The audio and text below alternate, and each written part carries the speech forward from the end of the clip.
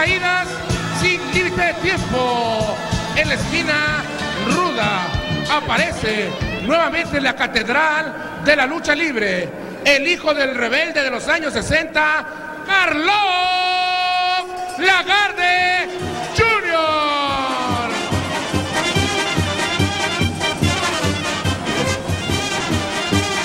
Y a su lado se encuentra Mocho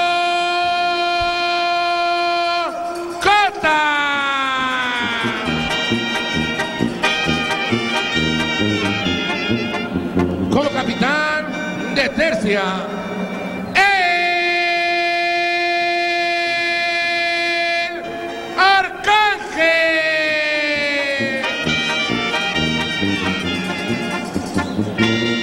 Y señoras y señores, en la esquina técnica de los grandes valores del Consejo Mundial de Lucha Libre, a quien se le brinda la oportunidad de estar en la majestuosa Arena México, presentamos a Mister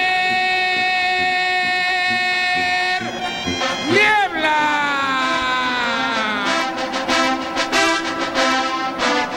Y a su lado, un hombre que parte a Japón el próximo 14, donde estará por espacio de dos semanas. Mágica! Como capitán de tercia, el flamante campeón mundial welter del Consejo Mundial de Lucha Libre, Pantera.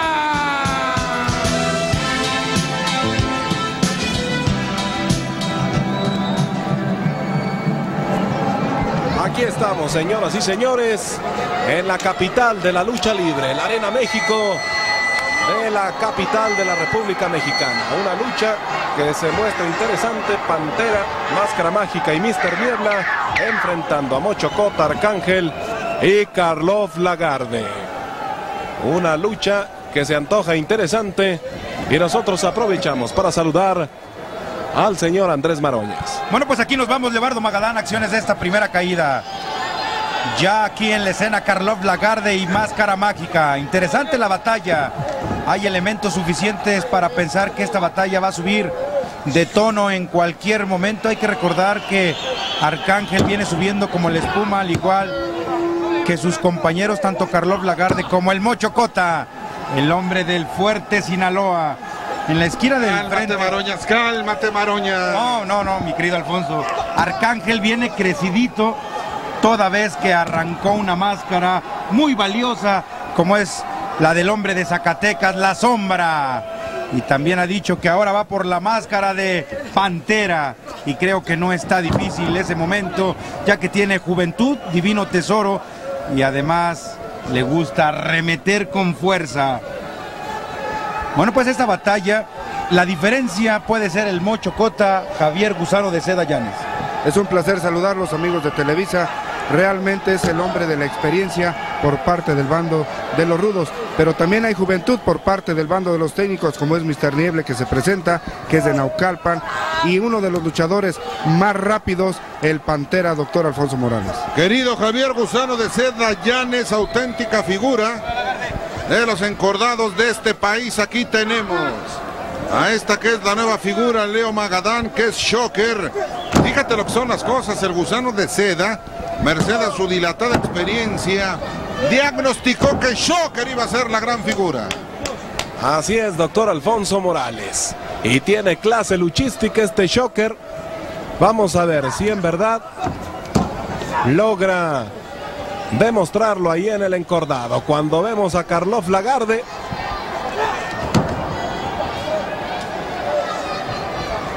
Ahí en el encordado.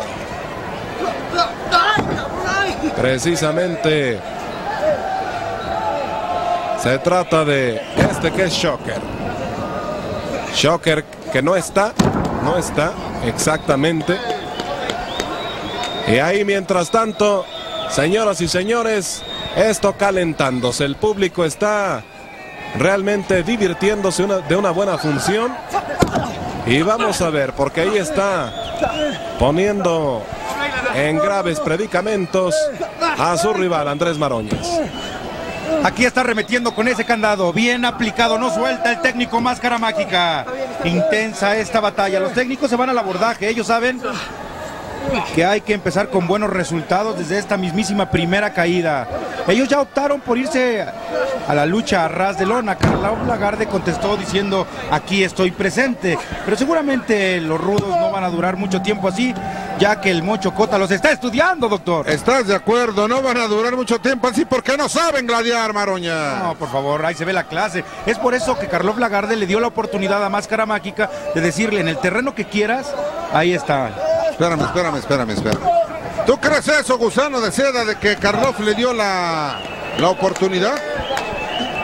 Estamos viendo que aquí Máscara Mágica es un luchador que tiene un poco más de experiencia que Carlos Lagarde, puesto que Máscara Mágica es una persona que ha viajado bastante al extranjero y por eso tiene más experiencia que Carlos Lagarde.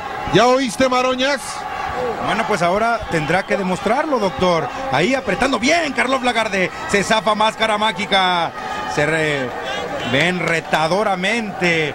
Bien, bien empezando esta batalla. Da gusto ver a estos hombres cómo están haciendo el gasto. Este es el Arcángel que se va a enfrentar a Pantera. Dos hombres que son intrépidos.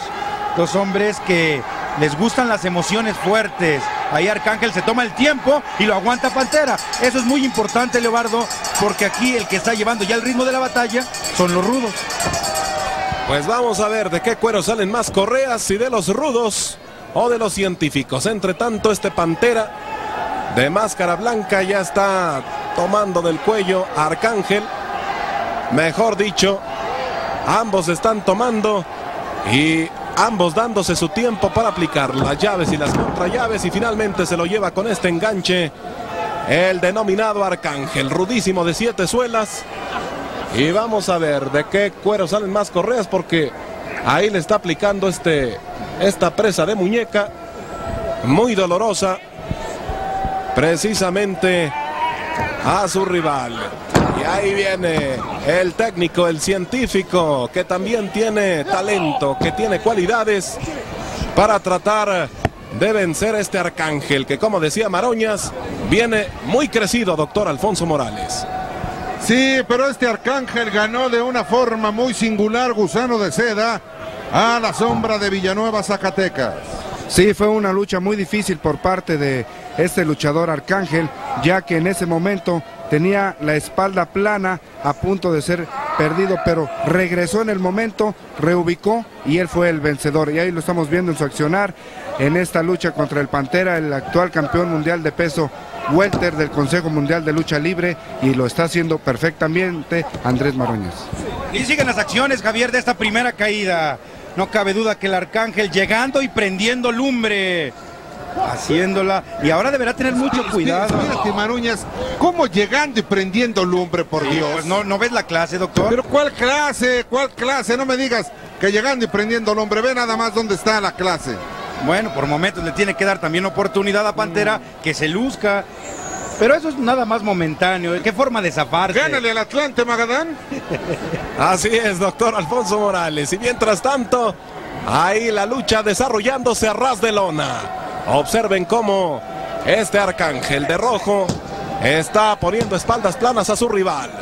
Y aplicándole este castigo que es dolorosísimo. Ahí lo lleva. Parece que están jugando.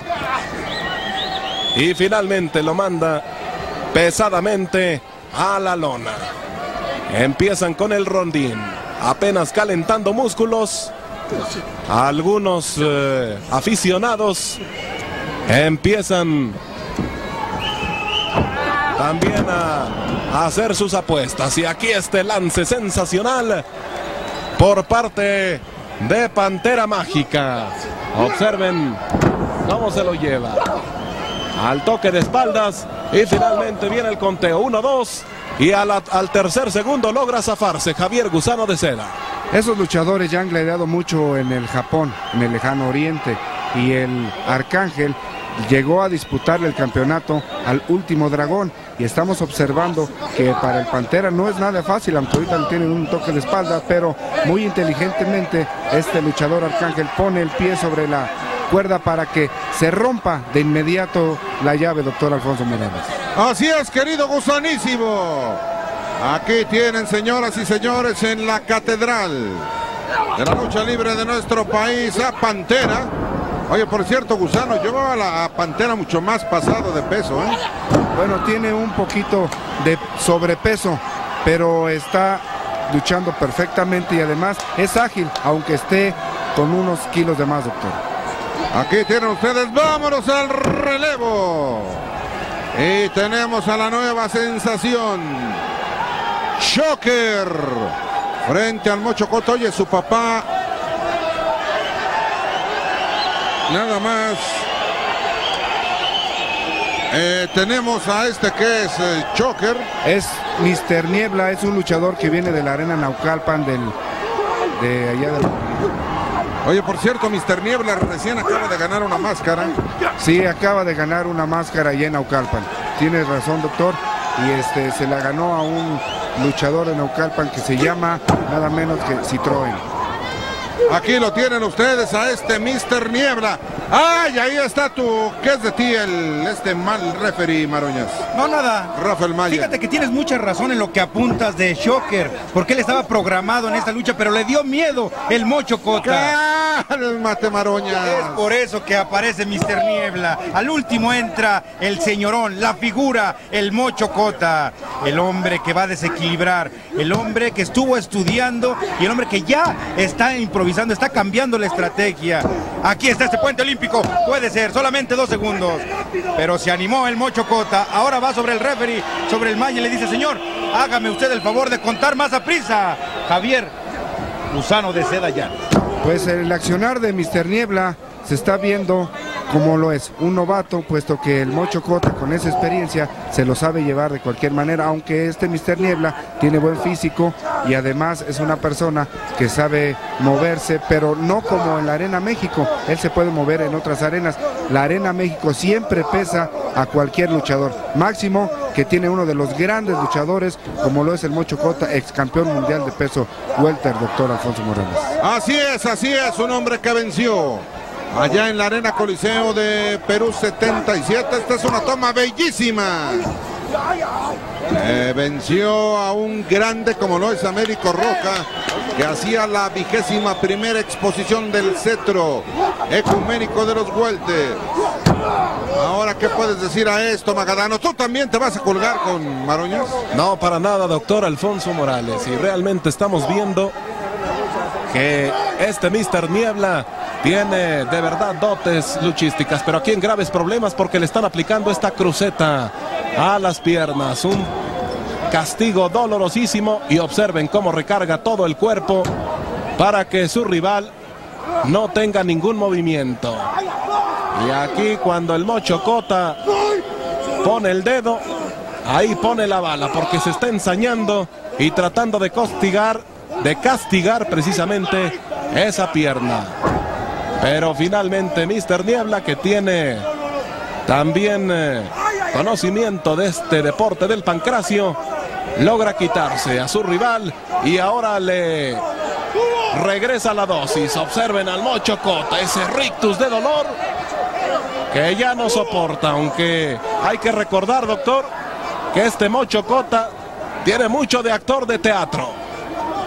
Es discípulo del inmenso Dimitrio Sarraz de Sequizano. Es un hombre que polarizó la atención hace algunos años. Querido gusano de gusano de seda, siendo pareja con Andrés Richardson, sangre chicana, y formando el relevo australiano con Arturo Casco la Fiera Gusano. Sí, eran un grupo muy difícil de vencer, ya que tenían experiencia y juventud y agilidad, sobre todo lo que era la Fiera, y la experiencia del Mocho Cota, y la rudeza y la salvajura de ese Andrés Richardson, sangre chicana, Leobardo Magadán. Así es, y aquí aplicando la de a caballo, el Mocho Cota. Y observen eh, cómo se percibe detrás de esa máscara el rictus de dolor. Y finalmente logra quitársela. Y ahora el regreso, el retorno es para Mr. Niebla, quien eh, se recarga con todo el cuerpo Andrés Maroñas. Y vamos a ver qué le va a aplicar. Bueno, pues está buscando hacer la tapatía. Vamos a ver si lo consigue, pero muy inteligente el Mocho Cota. Aguantando perfectamente, pero ahí jala Mr. Niebla. Puede ser. Nuevamente lo intenta el enmascarado. Cerca de ahí los referees. Le preguntan a la distancia al Mocho Cota. Inteligentemente. Ahora aparece con el puente olímpico. Solamente dos segundos, pero muy inteligente. Un colmillo largo y retorcido. El único luchador en el mundo que da dos dedos de ventaja. Ahí no le queda otra cosa al técnico más que reconocer la clase, la, categoría del Mocho Cota. Ahora vamos a ver a Máscara Mágica enfrentándose a Carlos Lagarde. Intensa esta primera caída. Muy larga ya, pero plantearon los dos bandos perfectamente la batalla. No se han dado espacios, por eso que pues no los han podido llevar a la rendición. A ver qué suerte tiene Carlos Lagarde. Inteligentemente va por máscara mágica. Inteligentemente lo estaba cazando. Ahora abandona el cuadrilátero. Ahí solamente finta y lo mejor en esta ocasión para el técnico. Parece el arcángel y también Pantera con mucha velocidad. Aquí está un látigo bien aplicado como mandan los canos. Una rodilla en la lona. Nuevamente lo vuelve a pasar. Y ahí queda esto, doctor Alfonso Morales.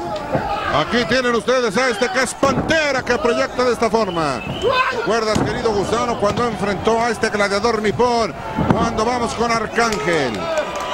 Sí, como no, recordamos a Gran Sasuke que hicieron una lucha extraordinaria aquí en la Arena México, que ganó el Pantera, que era, se veía muy difícil, puesto que Gran Sasuke es uno de los grandes luchadores ahí en Japón, pero salió avante el mexicano, conservó su cetro mundial, welter del Consejo Mundial de Lucha Libre, Leobardo Magadán. Así es, Javier Gusano de Seda. Y mientras tanto, vamos al Pancracio. Observen este tremendo costalazo que recibe Mister Niebla y va hasta la segunda cuerda para este centón volado. Observen cómo queda totalmente inerte Mister Niebla a la sazón del castigo que le estaba propinando. Este que es el Mocho Cota, un rudísimo de siete suelas y finalmente está consiguiendo, vamos a ver, parece que consiguió la rendición de Mister Niebla. Así es, Javier Gusano de Seda. Sí, fue unos movimientos por parte del Mocho Cota bien realizados, que hizo un suplés y luego lo venció con esta enredadera. Y aquí el Pantera le está aplicando un movimiento que puedes llegar a un toque de espaldas, pero sola, solamente es un movimiento de rendición. Doctor Alfonso Morales. Así es, vámonos con una patada de costado directamente de Pantera sobre el hijo de Carlos Lagarde. Lo pasa de esta manera, lo lleva al toque de espalda. Y ahí tenemos a Poncho Ramírez Pompín. Vámonos al choque del ángulo. Aquí lo tiene, lo lleva para aplicar. Mientras tanto, plancha enorme de Arcángel. Sobre máscara mágica lo va a llevar a las alturas para hacer una derivación de Crush. Una, un centón a la guayina. El inmenso René Copetes Guajardo, gusanísimo. Bien realizado por parte de los rudos, ya que hicieron sus movimientos como si hubieran sido unos técnicos, puesto que realizaron dentro del cuadrilátero sus evoluciones, hicieron todo bien a la perfección. Eh, incluso el Mocho Cota hizo lo que les debía decir, puesto que en ese momento él lo estaba guiando, a pesar de que el Arcángel es un es el capitán. Aquí estamos viendo la repetición. Es un movimiento de Carlos Lagarde bien realizado, es un movimiento con eh, palanca y esta plancha realizada por parte del Arcángel para llevarlo al corner suplés. Lo estamos observando, lo llevaba ya cuando lo iba a poner sobre la tercera cuerda eh, de pie, prefirió llevárselo de esa manera en el suplés hacia atrás bien realizado para después con un centón volado ponerle la espalda plana a Máscara Mágica y así llevarse esta primera caída a Leobardo Magadán. Así es, Javier Gusano de Seda. Y esto está de verdad calientito. Observen la panorámica desde esta que es la Catedral de la Lucha Libre.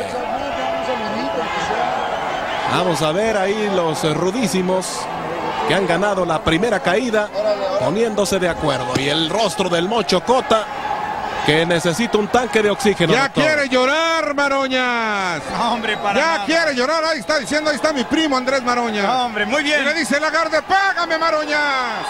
¿Qué pasó? Ya no te vuelvo a prestar.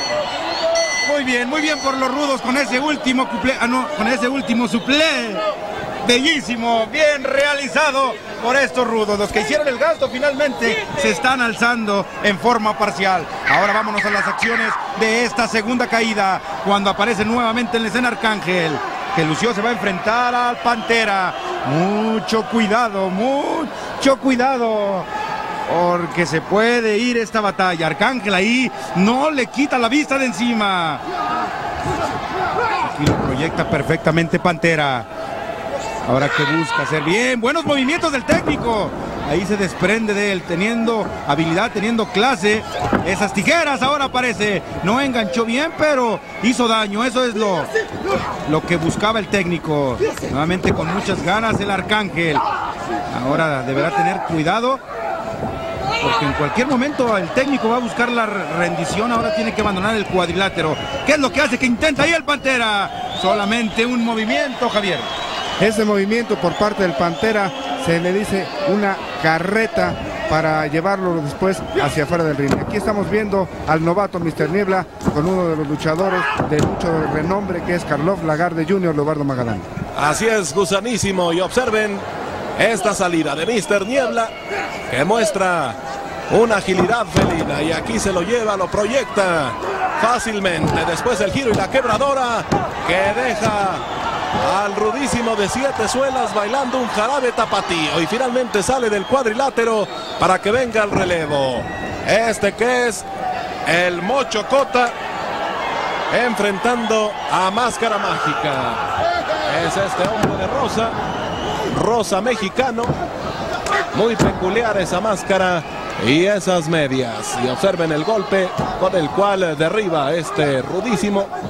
Y ahora se lo lleva con este enganche Máscara mágica. Vamos al juego de cuerdas. Y esto se alegra porque los técnicos están regresando a la lucha. Doctor Alfonso Morales. Así es, nunca han estado ausentes, Magadán.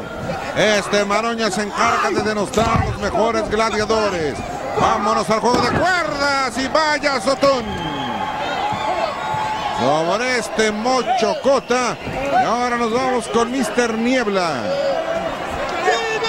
La verdad, gusano de seda, tú también has gladiado mucho allá en Aucalpan. Sí, realmente hemos gladiado, pero aquí estamos viendo este accionar. Doctor, si no mal recuerdo, este luchador, Mr. Niebla, tiene una semejanza a Estuca, uno de los grandes luchadores de Torreón. Así es, un hombre que usaba el mismo color del equipo. Joel García, si mal no recuerdo. Sí que perdió la máscara, pero vean nada más de esta forma. Qué manera de llevarlo de Arcángel. Pues la gente se le entrega a Arcángel, que es un gladiador que a raíz de que cambió su imagen, es otro Magadán. Así es. Y aquí tenemos en el encordado nuevamente a Carlos Lagarde enfrentando Máscara Mágica. Vamos a ver de qué cuero salen más correas, porque Máscara Mágica se lo está llevando con este doble tirante a los brazos. Y luego, cuando ingresa Arcángel, trata de equilibrar las cosas. Una situación peligrosa para los técnicos, puesto que pueden perder en dos al hilo. Pero aquí la equivocación de los rudísimos.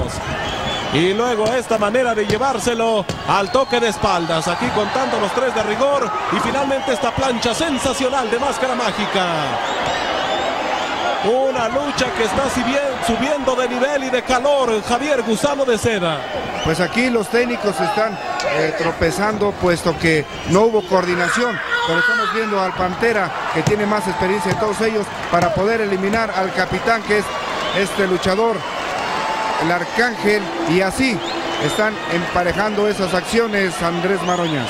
Bien, pues ha terminado la batalla, eh, la segunda caída, se ha empatado un error que le valió la segunda caída al Arcángel. Hay una caída muy dolorosa para el Mocho Cota. Ahora lo interesante es saber si puede regresar a la batalla para la tercera. Aquí parece que fue la clavícula la que está sobándose ahí con la mano izquierda. Parece ya el doctor lo está auxiliando también el comisionado. Bueno, pues ojalá, ojalá y regrese. El doctor dice que sí, que sí puede continuar. Bueno, pues buenas noticias, sí, doctor. Ahí a un lado, don Raúl Villarreal está. Una de las inmensas glorias del huracán Ramírez. Como el gusano de seda, no hay gusano cualquiera. Este movimiento es una plancha bien realizada por parte de Máscara Mágica. Nos recordó también a Eddie Guerrero, puesto que Eddie Guerrero empezó con este tipo de evoluciones, de hacer este tipo de planchas hacia afuera del, ring, doctor Alfonso Morales. Y en esta otra repetición vemos cómo los técnicos estaban tropezando, se estaban trompicando y ahí el Pantera como tiene más experiencia fue el luchador que pudo hacer, doctor, estos movimientos. Así es, señores y señores, estamos en la Arena México. Esta es una figura. Un fincador del prestigio de la lucha libre de nuestro país. El inmenso Daniel García, el huracán Ramírez, el hombre que conquistó Bolivia, el príncipe de seda y oro, Gusano Llano. Sí, es uno de los grandes luchadores que ha dado la lucha libre mexicana y ahí lo tenemos como siempre en, buenas, en buena condición. Y vámonos directamente, Lobardo, a las acciones de esta tercera caída. Donde está precisamente este Mr. Niebla que se está llevando al Mocho Cota y luego este señor Niebla da todo lo alto para llevarlo con este enganche y sacarlo del cuadrilátero. Y ahí todo mundo corrió. No sea que les vaya a caer encima. Va a venir el relevo. Está entrando Karloff Lagarde Jr. Enfrentando al Pantera, al juego de cuerdas. Aquí, quién sabe qué le quiso hacer y lo llevan al toque de espaldas. Este Karloff Lagarde que tiene mucho talento pese a ser rudo, pero finalmente está cayendo en sus mismas equivocaciones, doctor Alfonso Morales. Aquí estamos, señoras y señores. ¿Qué caída, doctor? En lo que es el arranque de la tercera, tercera, tercera caída. El giro de la muerte para hacer algo que inventó el huracán Ramírez Gusano de Seda. Sí, fue un invento de la hurracarrana bien realizada por parte de este luchador Pantera y aquí en un toque de espalda en, en Puente Olímpico no llegó a las tres, pero Pompín está contando las tres. No sé si, doctor, vayan a levantar la mano, puesto que el Carlos Lagarde puede estar rendido, según lo que vimos ahorita. Así es, aquí aparece en la escena Leo Magadán de la colonia Guerrero. Así es, doctor Alfonso Morales. Y esta es la tercera caída y definitiva. Tanto rudos como técnicos tienen que echar toda la carne al asador. Y este máscara mágica que es eh, trompicado de esta manera, es golpeado con ese tremendo costalazo y lo ponen al toque de espaldas. Y vamos a ver si logra ganarle a este hombre que tiene mucha lona recorrida. Aquí lo pone Máscara Mágica, toque de espaldas y van uno tras otro. Y ninguno de los dos, los dos rompen. Y ahora viene el Mocho Cota al ataque. Aquí lo pone al toque de espaldas, pero Máscara Mágica logra zafarse. Ambos gladiadores mostrándose con este público reunido aquí en la Arena México. Finalmente, con esta doble palanca a los brazos, lo pone al Mocho Cota al toque de espaldas. Sin embargo, solamente contó dos segundos. Ahí el Maya decía precisamente que hasta ahí había llegado el conteo y ni uno ni otro logran salirse Andrés Maroñas. Bueno, pues un poco cargada hacia los técnicos esta tercera caída, poniéndolo en apuros. Aquí está regresando el Mocho Cota con ese puente olímpico. Ahora trata de zafarse, de hacer el relevo. Muy inteligente, máscara mágica. Apareció con la presa de muñeca. Ahora ese suplex con, con el puente olímpico. Dos segundos. Bien, inteligentemente el Mocho Cota alcanzó a romper, pero ya está muy lastimado. Ahora lo que él trata es poner en aprietos al técnico, pero es muy difícil. Este es Pantera. Con las, con las patadas voladoras. Nuevamente abandona el cuadrilátero inteligentemente el Mocho Cota. Cuidado, cuidado. ¿Qué es lo que hace este hombre? Aparece con este horizontal. Con ese mortal hacia el frente. Vaya momento. Aquí puede terminar la batalla. Bien por Máscara Mágica. Carlos Lagarde. También con esa plancha arriba de la tercera cuerda. ¿Qué es lo que va a hacer este joven? Aquí está. Este mortal también con alto grado de dificultad. Aquí puede ser el final. Y tiene la gran oportunidad el Arcángel. Pero acuérdense ustedes que cierra el Pantera. Este es el vuelo lleno de plasticidad. Hermoso este vuelo. Ahora, ¿qué es lo que va a intentar? Pantera está en la tercera. Y aquí viene con el mortal hacia atrás. ¡Qué lances tan maravillosos! Lances suicidas y espectaculares, Javier.